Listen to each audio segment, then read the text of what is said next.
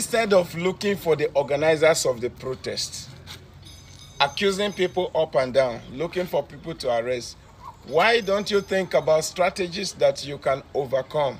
One, Inspector General of Police, Chief of Defense Staff, Chief of Army Staff, Chief of Naval Staff, and all the security personnel, all the security agencies in Nigeria. It is a call for you all and also your responsibility to protect lives and properties.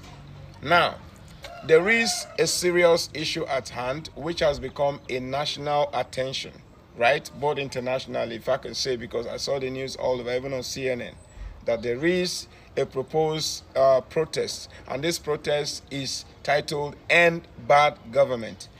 You all know that protest is the right of the people. This is the only way the masses can communicate to the government on their anger that they are not happy about what is happening.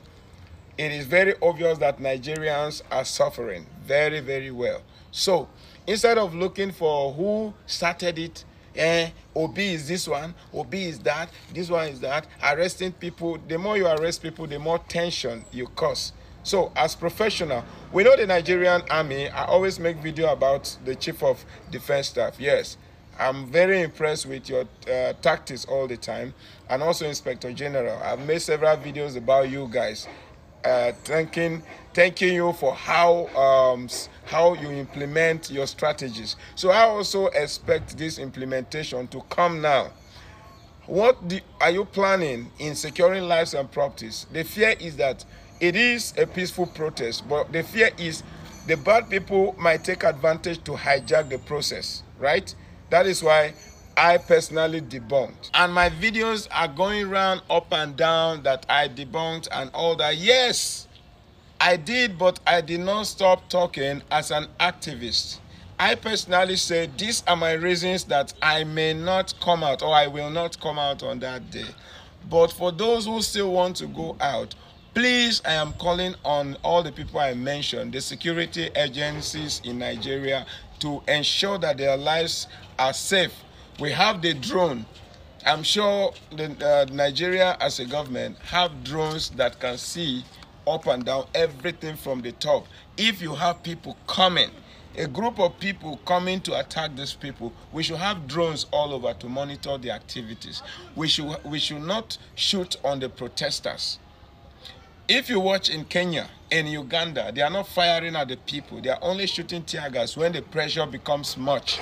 Since you know that it is the right of the people, I expect, yes, being professional, being the African giant, ours should be things of emulation so that other countries can emulate. Yes, since we already know that maybe they can hijack it, what are you thinking of doing to make sure the hijackers do not succeed? Already, they are already catching some people. Yes, bad people, some that are crossing with uh, ammunition and whatever, you know. So if that is happening, we give kudos to the uh, officers. So please, for the protesters also, when you notice a strange person, among strange person amongst you, what do you do? Raise alarm immediately. Somebody's going to boggle somebody's shop. Yes, hold the person. Somebody's breaking somebody's car. These are not what you are going out for. You are going out for the people. Who are the people? Tinubu is not the problem. One individual is not the problem of Nigeria. Even ourselves, we have problems. Now, by the time this whole thing is, is uh, uh, subsided, we have to also think about our individual selves because we have been very wicked to ourselves. We buy things cheap.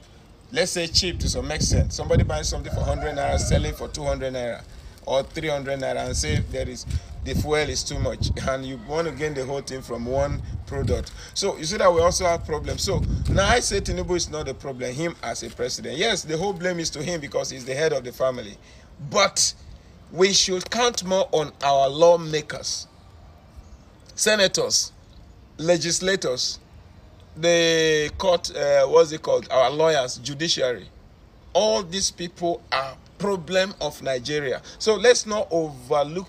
See, apart from these people, we also have uh, commissioners, we have ministers. If these people are not working, look, don't let them escape as it stands because many of them will look for a way to fly out. And we're also calling on the port authority, uh, uh, what's it called, uh, FAN, uh, all of you you put eyes on these people because there is no need for them running out there. we are suspecting anything can happen. If anything can happen you guys are the one that triggered this thing. So why running out? Stay and face the heat that the people are bringing. So please if you are going out for the protest make it peaceful. Make it peaceful. That's what we are praying for because you are not going to die. So don't bring anything that will aggravate that anger. Thank you